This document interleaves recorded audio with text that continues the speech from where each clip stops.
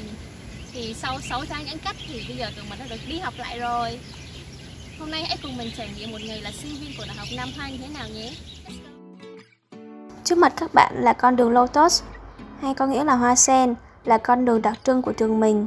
Giờ mình đang đi đến tòa nhà H là tòa nhà tụi mình sẽ học.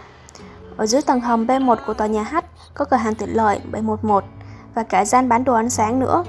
Mình cực kỳ thích đồ ăn sáng ở đây luôn, nên gần như sáng nào đi học cũng mua. Cuối cùng sau 4 tháng xa lớp xa trường thì mình cũng có cơ hội ăn lại rồi.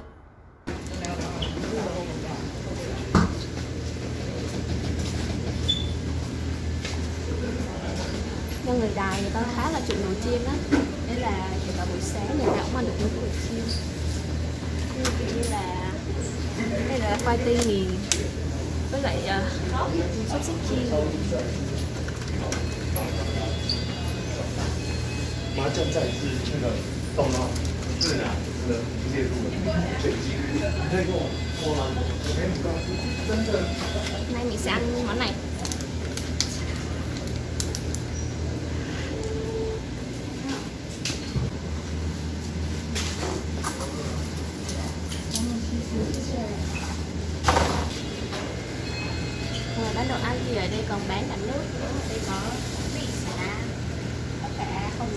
hồng xả và có cả nải xả nữa chứ mà là mà giá đó là rẻ nữa đây là khu vực dưới tầng hầm, bàn ghế được trải dài khắp các khu để thuận tiện cho các bạn sinh viên ngồi dùng bữa nè.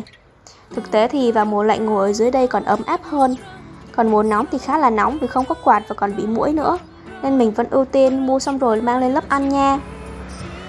Cụ thể, chi tiết về tòa nhà H như thế nào thì để có clip sau tụi mình sẽ review kỹ hơn cho các bạn nha.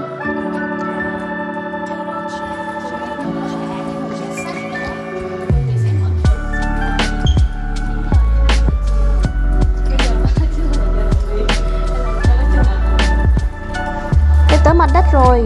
Hôm nay mình sẽ có hai lớp buổi sáng từ 9 giờ 10 đến 12 giờ và lớp buổi chiều từ 13 giờ 10 đến 16 giờ. Lớp buổi sáng là kỹ năng đàm phán. Đáng lẽ học ở khu H nhưng vì một số lý do nên tụi mình chuyển qua khu nhà S. Trường mình thì rộng quá nên còn nhiều khu nhà nữa nên mình cũng chưa kịp nhớ khu S ở đâu. Nên bây giờ đang lẻo đẻo đi theo các cô nè. Đến nơi còn thấy người ta đang tổ chức quay phim gì đó, nhìn hàng tráng ghê lắm mọi người.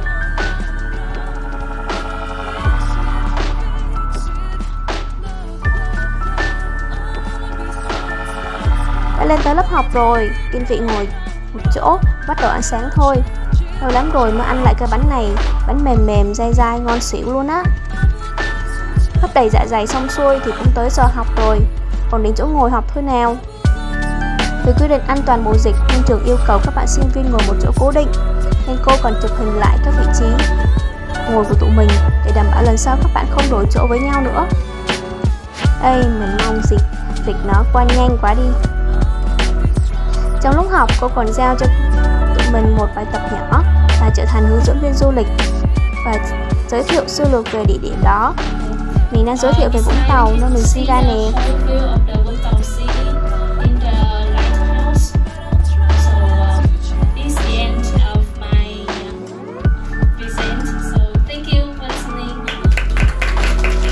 Cuối cùng học xong rồi, giờ tụi mình lại lội ngược về tòa nhà hát để ăn trưa, cũng như thuận tiện cho việc học lớp buổi chiều.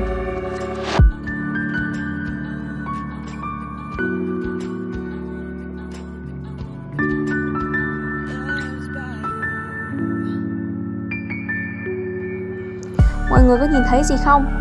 Lâu lắm rồi mình mới thấy đông người như vậy luôn á Đúng là ở nhà suốt mà giờ thấy mọi người cái háo hức ghê luôn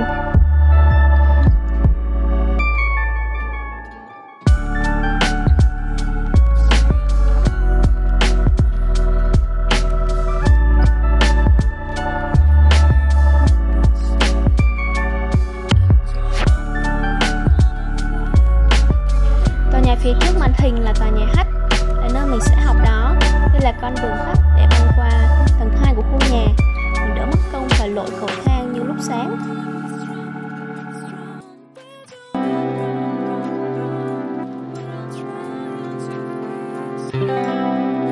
Cuối cùng thì mình cũng an vị được một chỗ ngồi thoải mái. Bây giờ mình lấy cơm ra và ăn trưa thôi. Hôm nay mình ăn canh rau củ với thịt xào. Do hôm nay mình đi học sớm nên chỉ chuẩn bị đơn giản như vậy là được. Vô xong tụi mình tiếp tục học lớp buổi chiều. Để một cái ngáp thật to Vì buồn ngủ quá rồi nên lại tinh thần cho lớp học tiếng Hoa nè.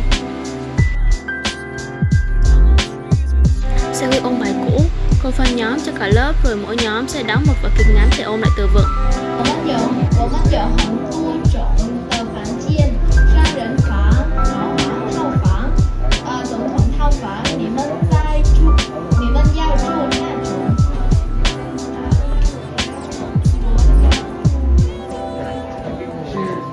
好的，请给请给我你们身份证。 Tiếp đến là giờ giải lao Mọi người lâu lắm mới gặp nhau Nên là nói chuyện rất là rôm rã Lớp tiếng Hoa lần này của tụi mình có một số bạn Brazil nữa Nên là giờ ra chơi tranh thủ làm quen với các bạn nè Tiếp theo là học bài mới Tập đọc thế này là mình nhớ cảm giác hồi lớp 1 ghê 第三个字方案， 犯案第四个字一日票。一日票。 Two hours later.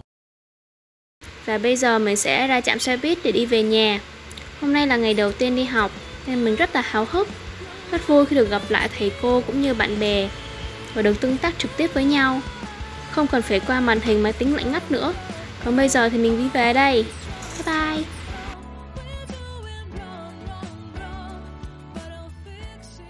Many, many minutes later. Hi, mình đang ở Gatalin. Thì bây giờ mình đã kết thúc một ngày học tập ở trường đại học năm 2 rồi Nếu các bạn thích video này